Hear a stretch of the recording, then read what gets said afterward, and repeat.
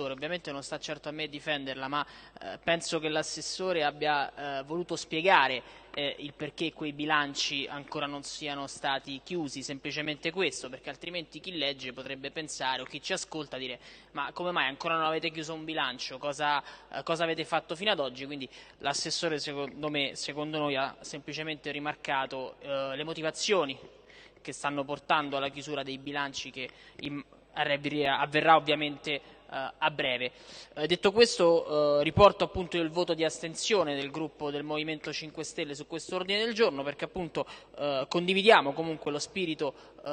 di fondo costruttivo dell'atto, condividiamo le linee guide appunto sottolineate, ma dato che già tanto l'assessore e anche la commissione che presiedo sta lavorando su questo tema, eh, appunto è un lavoro che già è eh, in essere e che stiamo portando avanti in maniera, devo dire, piuttosto intensa e determinata. Poi sul tema più generale eh, di questa delibera interverrò in dichiarazione di voto finale. Grazie Presidente.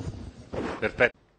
Grazie Presidente. Ehm, chiaro che ovviamente noi ci troviamo eh, oggi a votare una delibera più di natura eh, bilancistica, anzi meramente di natura bilancistica, ma chiaramente anche eh, giustamente posso comprenderlo, il dibattito è più sul futuro di nuove metropolitane e sul futuro più, eh, soprattutto delle infrastrutture eh, in questa città. Su, da questo punto di vista vorrei eh, rassicurare chi ci ascolta e gli altri consiglieri.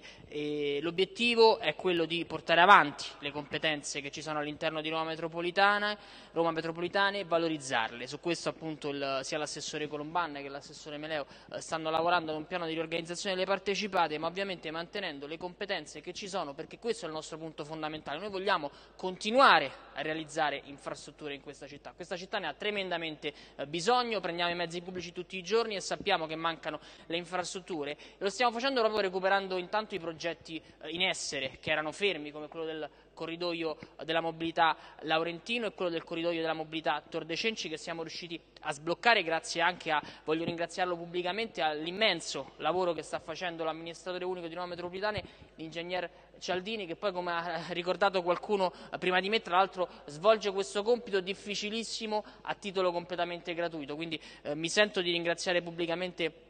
la U che tra l'altro probabilmente audiremo in commissione eh, questo venerdì. Eh, quindi chiaramente stiamo lavorando sulla metro C, siamo consapevoli del fatto che eh, ovviamente fermarsi al Colosseo eh, sarebbe avere una metropolitana monca e quindi bisogna fare di tutto per proseguire e per servire altri quartieri. Siamo consapevoli della strategicità eh, importantissima del prolungamento della metro B Rebibbia Casal Monastero, anche su questo argomento voglio rassicurare chi ci ascolta, chi abita in quel quadrante, siamo al lavoro, eh, l'assessore è al lavoro, l'amministratore unico di Nuova Metropolitane è al lavoro per garantire quest'opera fondamentale nonostante pesi sulle spalle di Roma Capitale e di noi consiglieri un contratto ed un bando che fu fatto non ricordo bene se nel 2009 o nel 2010, ma comunque gli anni erano quelli, in maniera oserei dire leggera, per non dire di peggio, perché se io metto a bando delle aree per realizzare una metropolitana, delle aree che debbono essere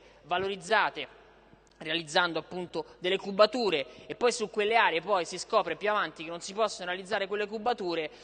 c'è stata, mi lasci dire Presidente, quantomeno un pochino di leggerezza, se non, se non qualcos'altro. E così poi quando nel 2012 si va a firmare un contratto con l'impresa aggiudicataria, chiaramente oggi questo contratto che per anni non è stato più toccato né dall'amministrazione che lo firmò nel 2012 né dall'amministrazione precedente, noi invece stiamo facendo carico di questo eh, problema complesso sia dal punto di vista giuridico che pratico, perché se io faccio un contratto in cui dico al vincitore che gli darò delle aree su cui edificare e poi queste aree si scopre che non sono più edificabili, è chiaro che si crea un problema eh, enorme da gestire, ma lo stiamo gestendo e lo vogliamo fare perché siamo convinti che serva il prolungamento della linea B, perché il prolungamento fino a casa al monastero consentirà ai cittadini di eh, raggiungere la metropolitana senza entrare nel GRA.